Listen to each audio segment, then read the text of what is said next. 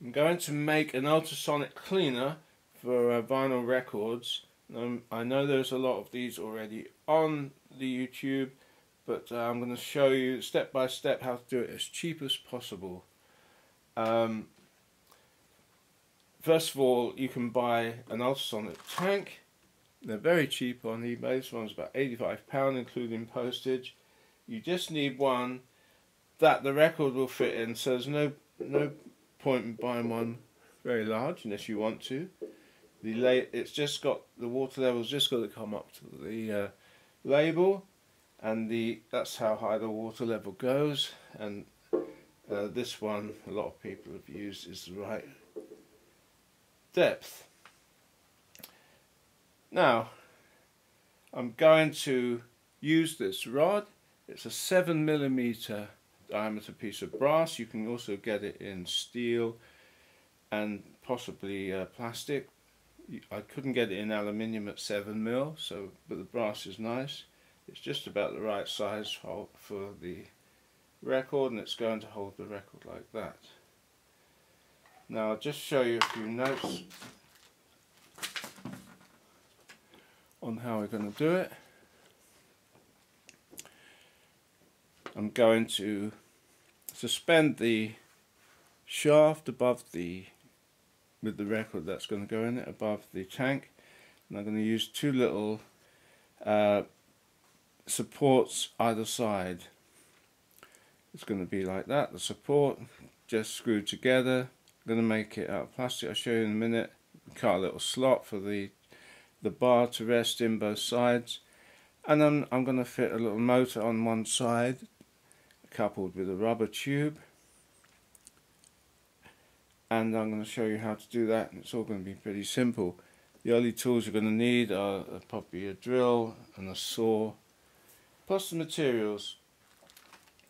I've bought some polypropylene, this is 6 mils, very cheap on eBay. Just, these are already cut size but we're going to cut some more. What I'm going to do is make the supports like this one either side, cut it to size and join it in the middle by a little block like this. I'm going to have to cut, that's going to be quite difficult to cut for you, you need a decent saw or something. Uh, and then just screw them together and then that's when it's screwed together it's going to just rest on the side of the tank, one, one each side as I said you got the the support rod and that we cut a V in the top of that. Just so that it can rotate without falling off. Now um, how to rotate it?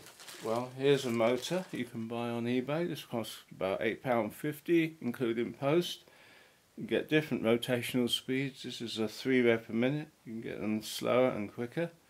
It's 12 volts, so um, a little cheap 12 volt power supply which uh, is going to run this. You obviously got to solder the wires on. And what I'm going to do is um, mount this onto one of, one of these plastic things. It's got little two little screw holes and that's going to go round and round and we're going to mount that on the back down here like this. And uh, again we're going to have a bit of block there and another one of these pieces inside to support it all.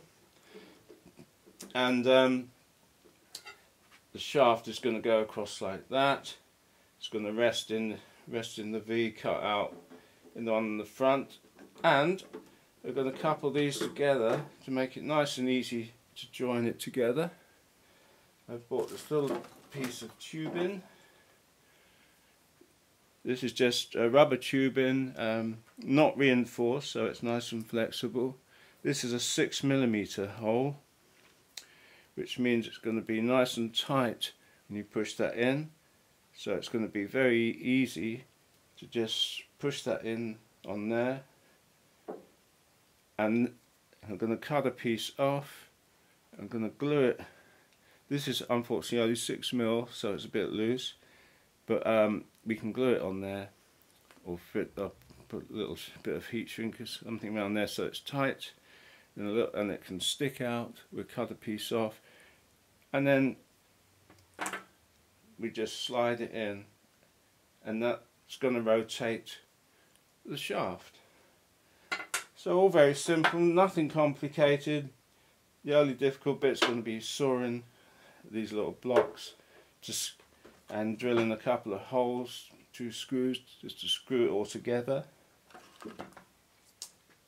Um, the record, how do you hold the record on the shaft? Well, you can buy uh, these rubber hockey pucks, they're very cheap, a couple of pounds each. They're made of rubber, there's no hole, but we're going to drill a hole in the middle. I'll experiment with the hole. Now these are solid, don't buy the cheap practice ones, which some of them can be hollow and some can be smaller in diameter. I'm going to drill a hole in the middle, and experiment. Uh, hopefully I can get a hole so it's just an interference fit. So you can put the record on and then you can slide this down one either side and hold it in place. It won't need much pressure because the record is balanced so it's going to go around very easily. And if you want to put more than one record on you can also buy these uh, little soft pads. They're um, mini foam pucks. We can drill a hole in them and we could use it to space out one record, put another record and perhaps up to three. I'm not keen on putting more than three in. I've seen people putting 12 in, but the the action refers uh, works by cavitation and the agitation of the of the bubbles against the record surface. And if you've got them at only a couple of millimeters apart, I can't see how the um, agitation of the water is going to be is going to be quite restricted between all the records because it's um, I don't know exactly how far the ultrasonic can penetrate when you've got objects in there, but I would suggest having a, a one to three with at least a decent gap between the records so the water between them can actually agitate. Anyway, that's up to you to decide. So, some cheap polypropylene. Don't buy perspex or acrylic because cutting it, it, it can crack and, and look horrible. You want uh, something like this. Um, you fill it up with some deionized water. This is also demineralized, which means it's been passed through a filter and it's got no uh, particles of any minerals in there. Um, just deionized water is very cheap, but are demineralized as well. These were about two pounds something for five litres. I think they were post free as well. You can also buy it in in superstores, but um, I don't know whether the ones for topping up batches is just been demineralized or not. A couple of other things. I've got tiny little clamps, 7 mil, just in case I need to um, fix anything in position to stop it moving. I might, could put it behind one of these I don't know. They were dirt cheap, so I bought a couple anyway. Um, got the filter. When you drain out the water, uh, it back into the container. Uh, you put a coffee filter in here or something just to catch any dirt and it's important um, to clean the water after so many goes. Um, I've also got uh, some record cleaner liquid I don't know if it's necessary. Uh, I would assume water would be fine. I mean, it's only the agitation that works. Uh, some people put a little bit of this in as well, and some people put in um, uh, some wetting compounds. I'm not sure wetting liquids like Kodak uh, Photo-Flo or something. I'm not sure if that's necessary. Anyway, pretty cheap. All these materials are cheap.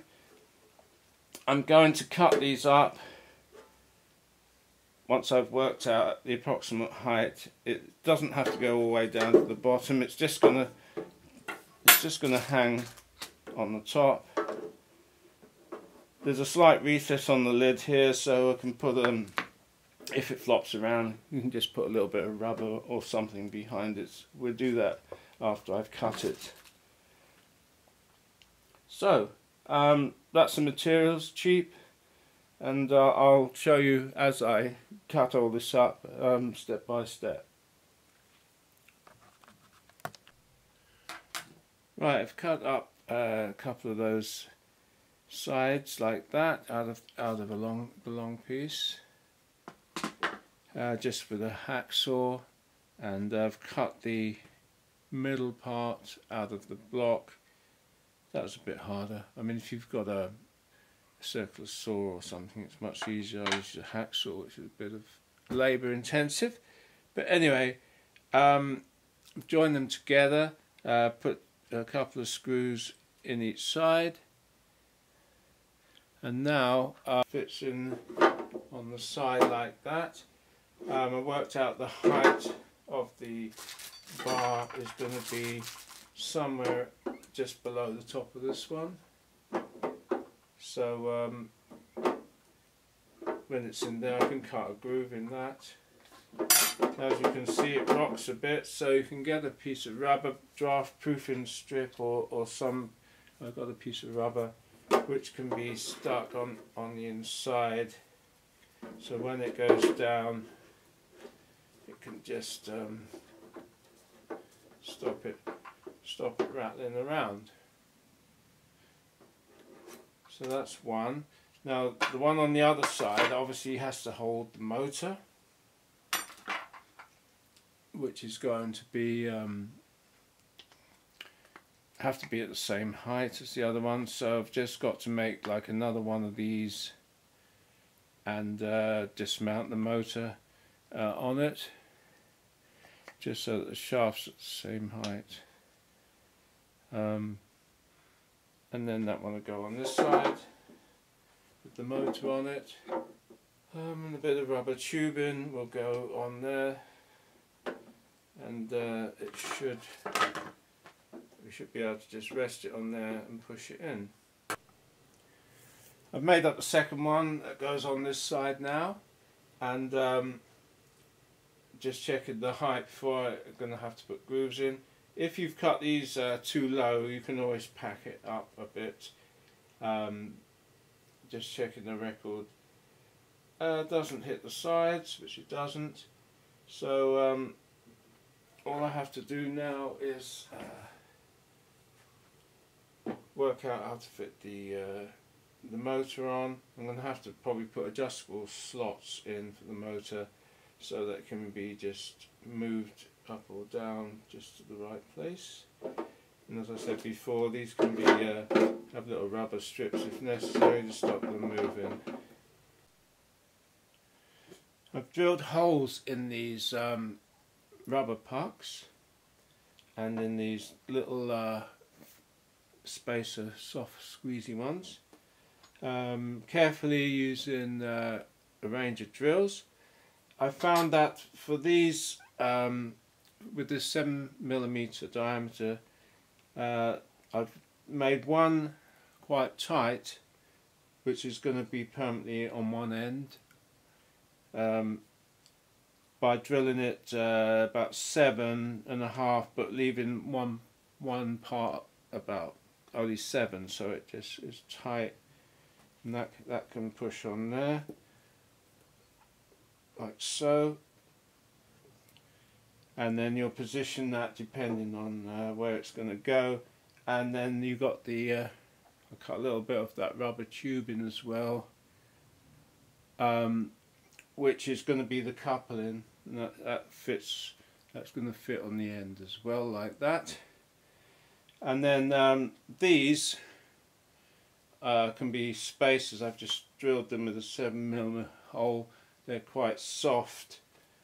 Uh, I've done three, which means you could hold um, one, two, three, or even four. I don't know if, it, if four records go on there. They might.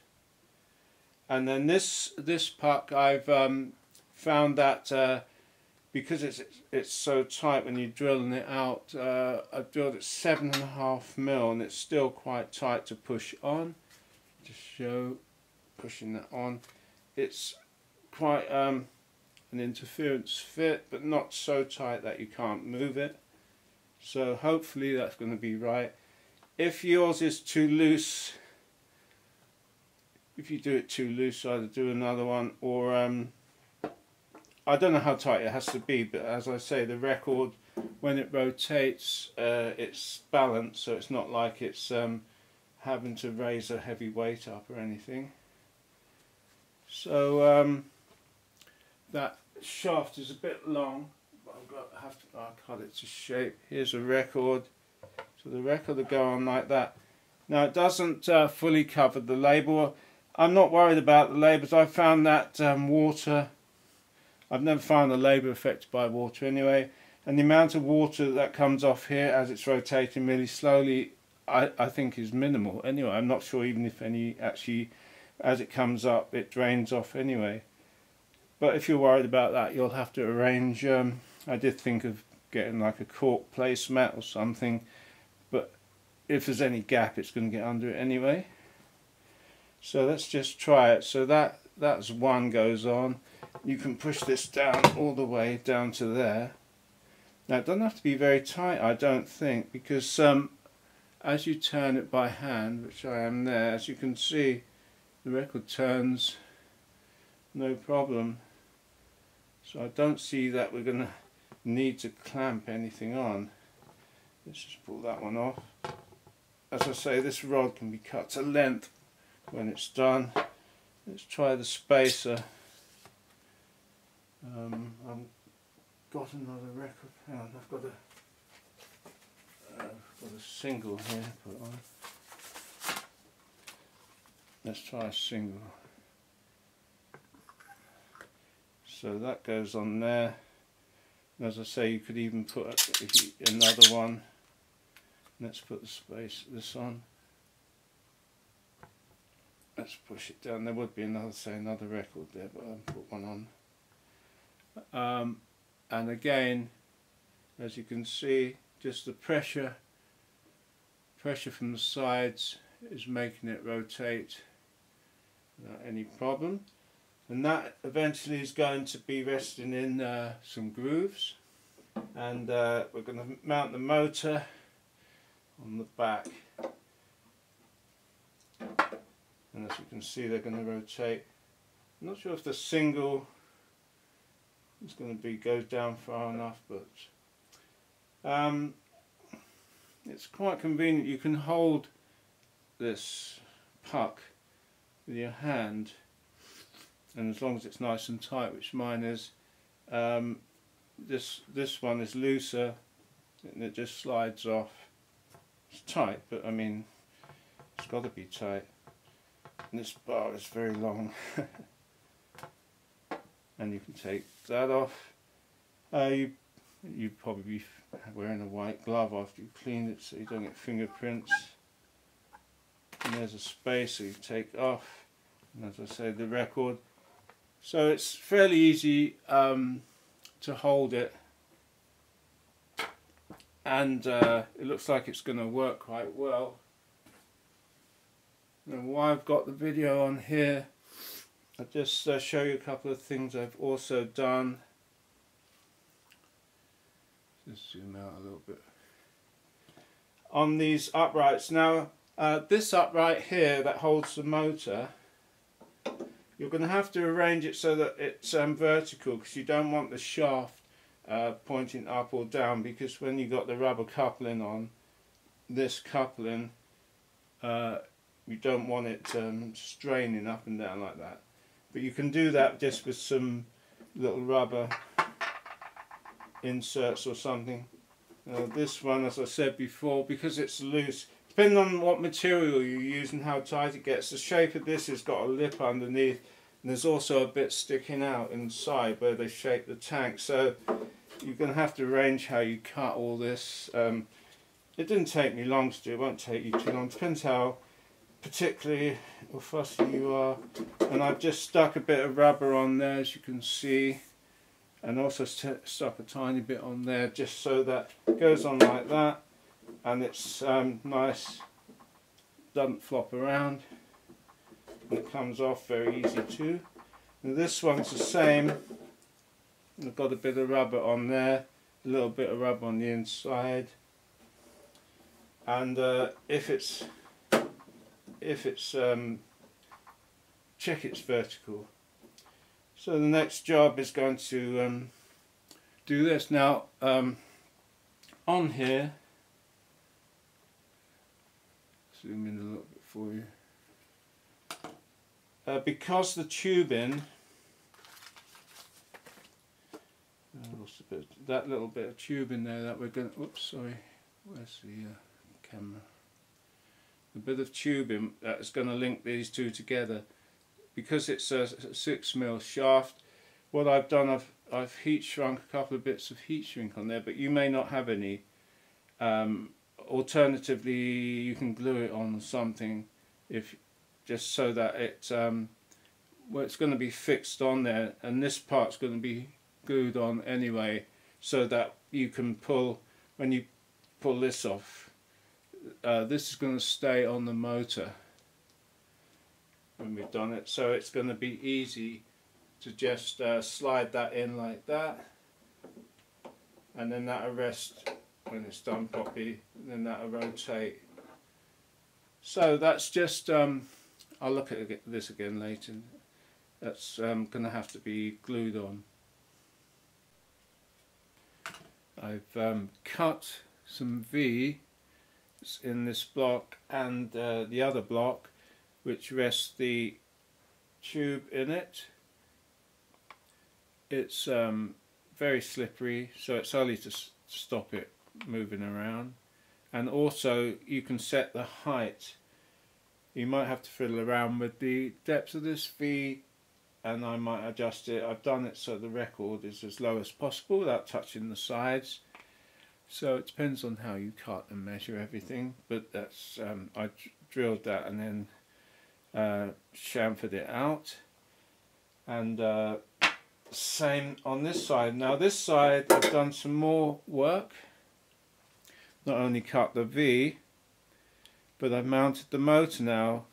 So I've cut the um, the V and I drilled all the way through and then through the back plate so they were in line.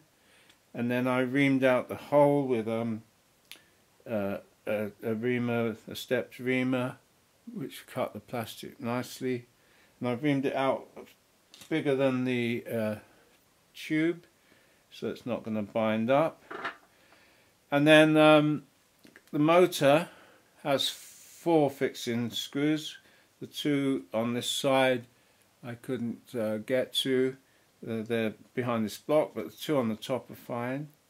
So I worked out where they would be positioned by um, making sure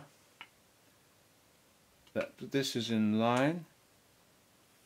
And uh, I drilled the hole slightly bigger so that I could uh, move the motor around a little bit and if it doesn't line up just enlarge the holes a bit more and then I've tightened them up. Make this is three millimeter uh, thread. Make sure your screws aren't too long so it's um, not very deep and you don't want it to bottom out and then you'll tighten it up and strip the threads out. So make sure that the screw is the right length. They don't give you any but it's got to be uh, pass uh, through here and into there. So check that first before you tighten them up and strip it out and uh, uh, make the hole slightly bigger so you can move the motor around a little bit until it's exactly in line which this one is. It's in line that way and it's in line from the side when it's um, resting in the slot. Obviously it goes on the uh, on here and it can slide a bit left and right. It's quite tight but you can you need to get it in the middle.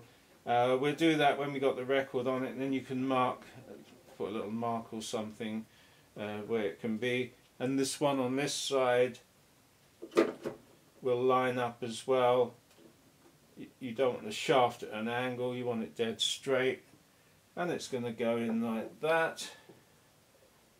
And you see uh, it turns very easily uh, low friction polyprop and it's lined up there and with the with the coupling when we wire the motor up it should turn this round without any problem at all You need a power supply for the electric motor to make it go round. This is a 12 volt one. Uh, you need to be able to solder a couple of wires on because uh, it's got two little tags. Doesn't matter which way, plus or minus, it go clockwise or anti-clockwise. Uh, 12 volts. Um, you can buy 12 volt uh, DC, not AC, uh, power supplies pretty cheap. Or I had this neck router one knocking around uh, from an old router, 12 volts, 1 amps. Uh, 1 amp is easy enough, uh, probably only draws about 0.1 of an amp when it's working. So um, the cheapest one you can buy, they're pretty cheap. Now it will come with some sort of um, connector on the end which probably would be a plug and you won't have a socket. Uh, you can you can either try and get a socket, you could uh, solder it direct to the terminals, um, which I didn't really want to do in case you put when you put it away it gets caught and rips the terminals off or something. Uh, you could wire in a switch, buy a cheap switch and on off switch and wire it to that maybe and just wire it round. Uh, but you'll have to do something to be able to connect it to there to there. Now this is a 3 RPM one. Uh, let's just plug it in.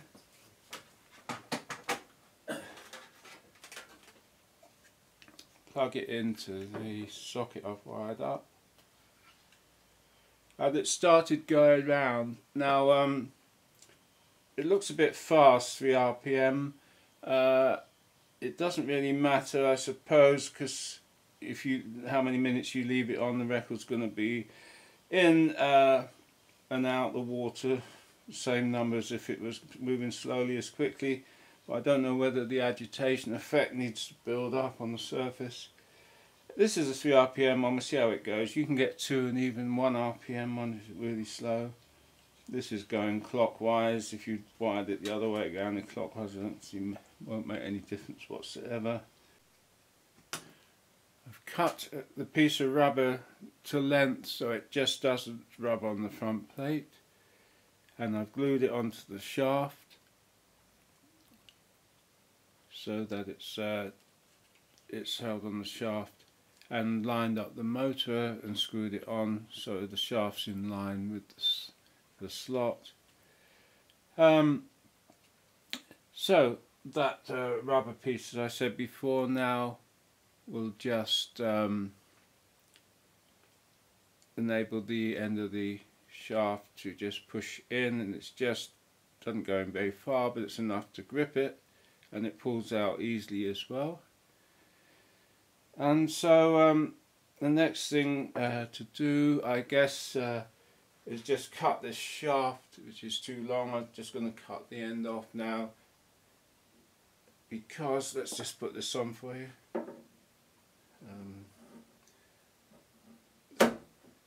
fits on like that. The shaft goes in there, just pushes it on, and you can see it only needs to be that long. I've cut the shaft to length, so it's just going to be just right.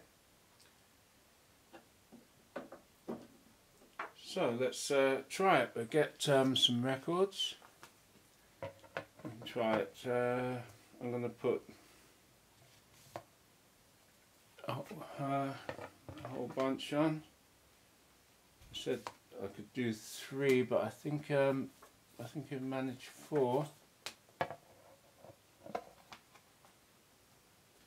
Just using these soft uh, pucks, which cost very little in between, just to space it out, so there's a reasonable gap between the records, as you can see give enough room for the water to do its job.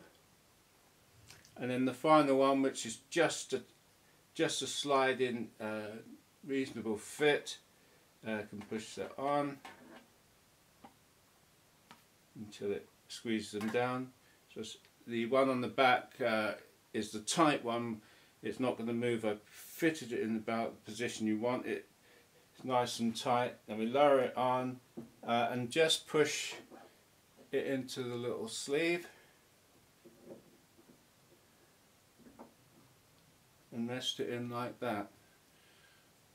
Now, um, I can adjust the one on the back to move them this way or that and check that they don't rub on the sides. You can, you can just move these left or right as necessary so that they're not rubbing.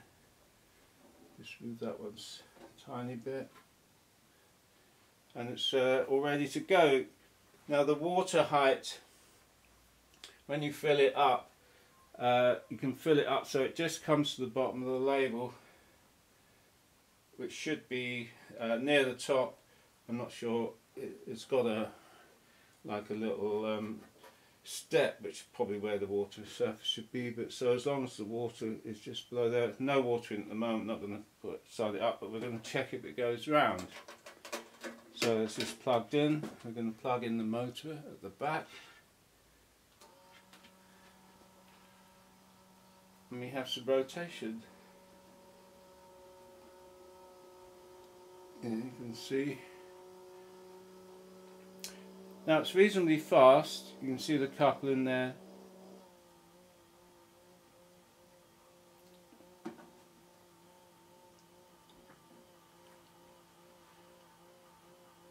Might be too fast, that's 3 RPM.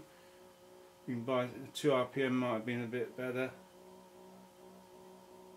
The motors were only, I think they're eight pound fifty. Uh, the geared motor, including post, So I can, I could buy another one. If you do, if you buy it, you might want to buy the two or the one RPM. Then we put in the water. Obviously, making sure you switch it off. Uh, close the valve. Because five litres is going to bring it right up to the near the top so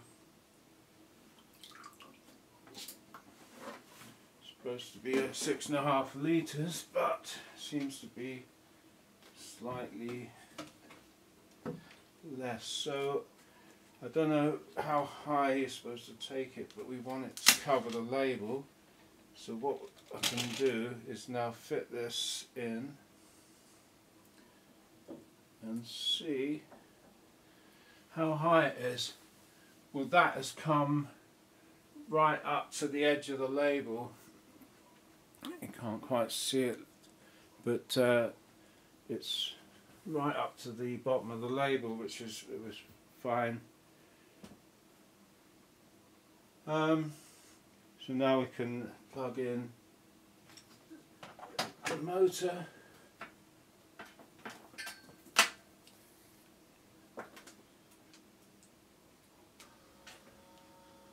Already going round. And plug in the machine I'm going to turn it on at the back and set the timer. Now I'm not going to heat the water either. Um, we know that heating the water will increase the agitation but um, if you're if it's warm enough about 20 degrees C in here I think that'd be okay. Now we can do that test later. Oh, it's not too bad. You can see some agitation on the water surface. Oh, I've switched it on, I've put it on the five minute timer, turned it on. You can see some agitation in the bottom, particularly at this point here. There's supposed to be three transducers in here, and there's three sort of in, indents in the bottom, obviously where they're fixed. There's one, two, three that one seems to be. And uh, the surface of the record, well, it's you can see the wetness on it as it's going round. Now some of these marks, um, like there, it'd be interesting to see if they disappear or not. And whether they have to really remain in the water longer. And this thing might be going around too fast. So if it doesn't work, um, try it for longer. This is a five minute time. And uh, if the water doesn't clean it up properly, we can try some additive as well. So I'm going to add a bit of this um, record cleaning liquid into the pure water. To see if it will uh, get any of those final marks off. I did find that I could remove those marks by the normal method of using some uh, uh, liquid and um, like a camel brush and just rubbing it. And uh, it did come off so that wasn't very good that the ultrasonic cleaner didn't remove that. Anyway I'm going to add some of this. I don't know how much you're supposed to put in but um, it's very expensive. But we've put um, a whole uh, uh, capful in. And see if it makes any difference at all um, there's still a few marks on this record and if it gets rid of them uh, we'll try another record. Um, so I'll put it on for about another 10 minutes. First thing I notice after putting some of this um, cleaner in the capful is that the record now is completely and utterly coated in uh, water. Before the water was just in patches, obviously where the grease uh, was making it run off. So this has enabled the water to completely um, cover the entire record, which must be a good thing. And um, hopefully it's going to give a better finish. Okay, after a little experimentation, checking a few records, etc. Uh, I found that running the um, this at a much slower speed is better, leaving them in the water longer. And so, actually, I did this by just using a different power supply, only um, 3 volts. That's all it needs. Even though it's a 12 volt uh, motor, 3 volts still has enough torque to turn it, and it goes around much slower. Um, also, I've heated the water up to 40 degrees C to try and improve uh, the scrubbing action. And I find that you do need to leave it in quite a long time, uh, 15 minutes. Um, also, the number of records you can put in, you can see the water surface agitating where the ultrasonic uh, agitation is working. And if you put even three records in, in between you hardly get any agitation at all. And uh, one is best. One you and you put the record in the middle you get maximum agitation both sides. With two spreading it out you still get some action in between. It seems to be more on the outsides but still in between so I don't really plan on doing more than two records at a time. The other thing is the drying. I found putting them on the rack and letting them air dry to absolutely ages. Um, but I did find that I could dry them on here, and I'll show you in a minute. Um, by slowing this down, the vacuum didn't work very well. Uh, with this homemade one didn't.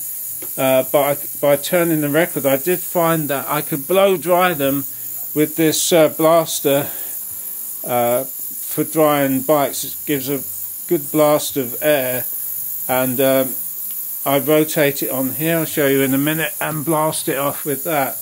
Uh, does it blast any air, dust, etc. on it? I doubt if it's um, enough air, dust in the air to cause any problems. It dries it off pretty quickly. Um, leaving it on a rack to dry seems to take ages and ages, and also you don't you don't want to scratch the record by accident.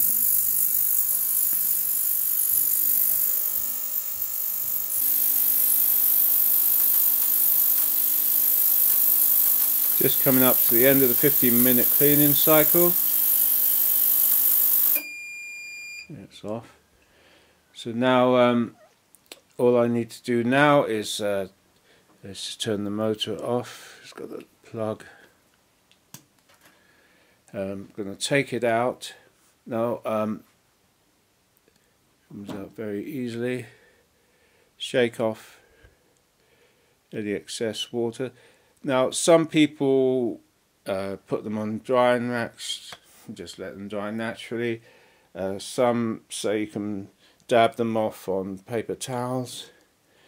But I've got um, a, a blower, which I'm going to show you, to blow dry. And Now I blow dry uh, the records. I find that um, it doesn't uh, do any harm. It doesn't really blast dirt from the atmosphere on it or uh, cause any other problems and it's very quick.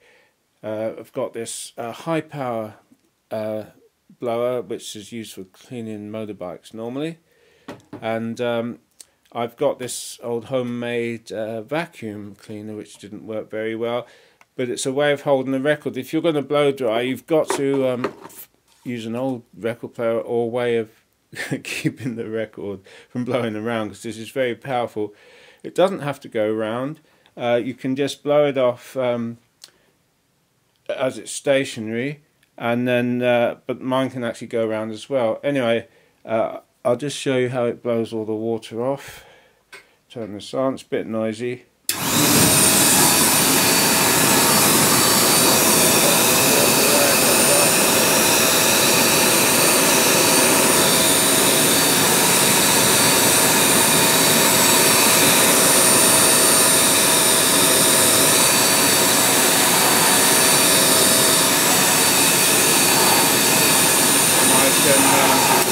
can also rotate mine as well so that way or the other way.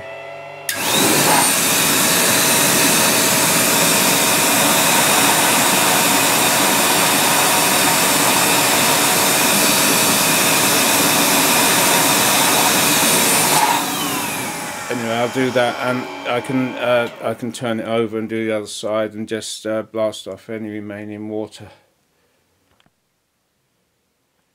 after doing uh, testing, trying to clean the records various uh, ways, um, the conclusion is that um, you definitely need some uh, something in the water to uh, wet the surface of the records, such as Kodak uh, Photo-Flo, or um, I used uh, this rather expensive record cleaning liquid uh, put about a cup capful.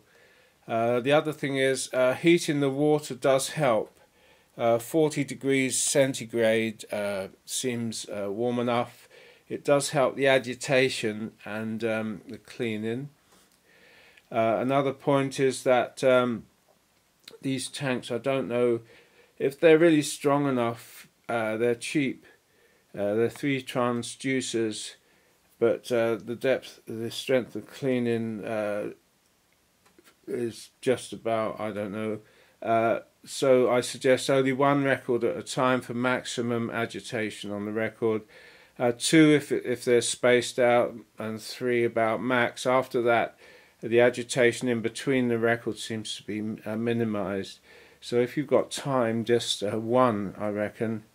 Now, speed of rotation because um, the record is only uh, about a third of the record is immersed at any one time. That means um, if you put it on for uh, 15 minutes, then each part of the record will be immersed for five minutes.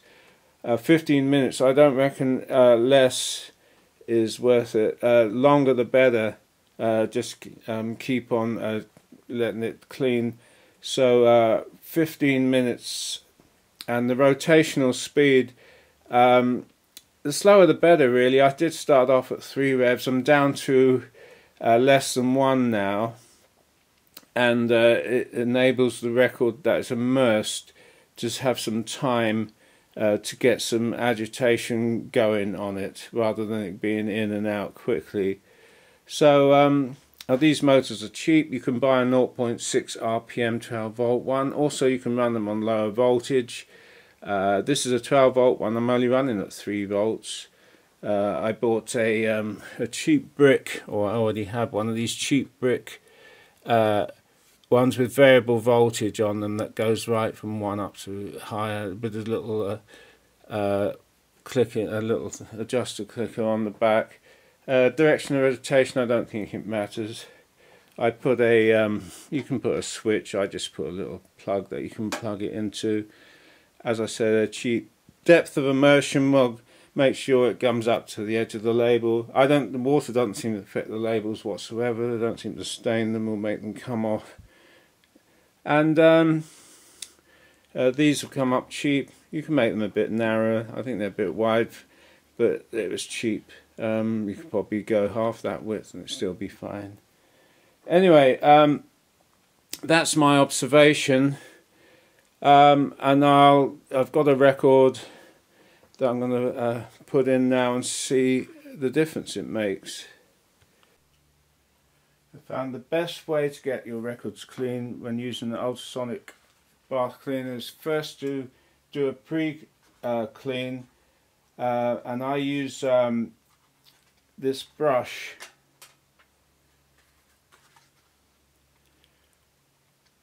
Zero point oh one millimeter slim tip bristles.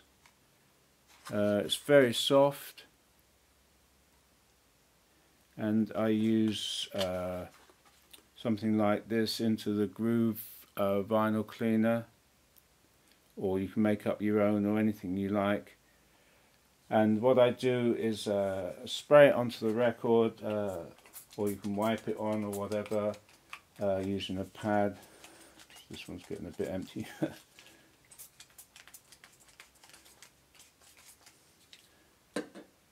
And then I just rotate the record and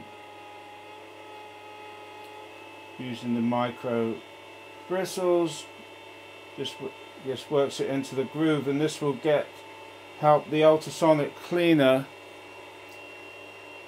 uh, get right into the grooves. It's already uh, will get in and start loosening. Any dirt.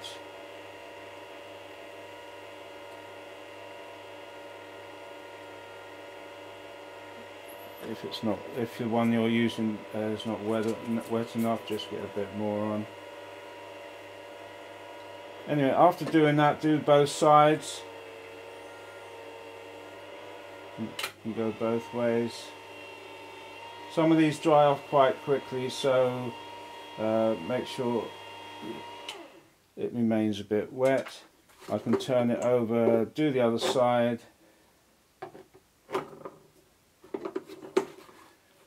And then I'm going to put it in the ultrasonic bath.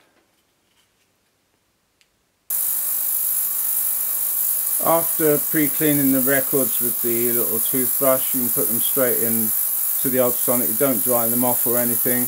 Normally I'd only put one for maximum cleaning or two uh, but I put three in at the moment this time.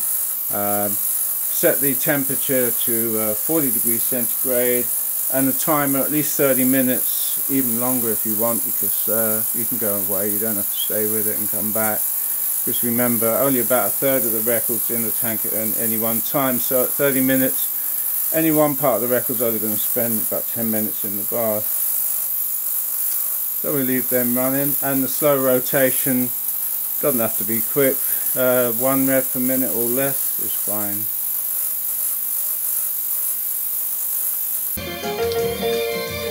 Okay, this is a record that hasn't been cleaned. Uh, you can hear the crackling. Any second.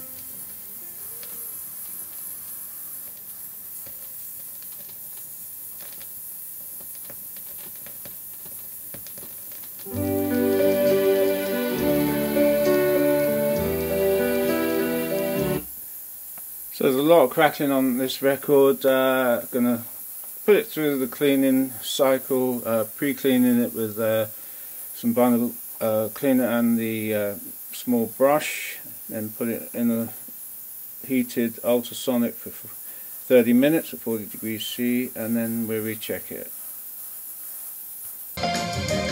Okay, after cleaning um, the ultrasonic bath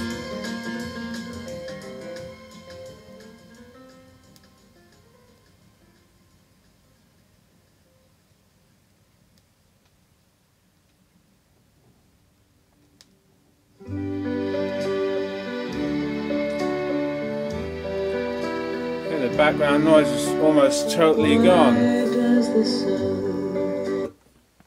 Almost totally gone, the background noise, just a couple of tiny little ticks, which if you put it through the bath again, probably go. So um, cleaning, as I've shown, uh, works very very well and um, the best result I've had from all sorts of methods of cleaning.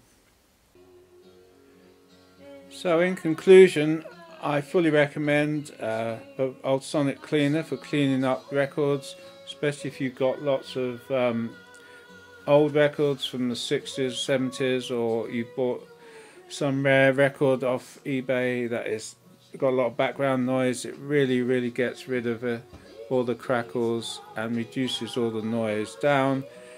How to make the uh, cheap ultrasonic cleaning setup uh, just with um, a couple of bits and pieces motor, a couple of bits all cheap uh, water and um, a little bit of uh, additive for the vinyl wetting and a bit if you want to pre-clean the record. It's all very cheap and um, I've been uh, very pleased with the outcome.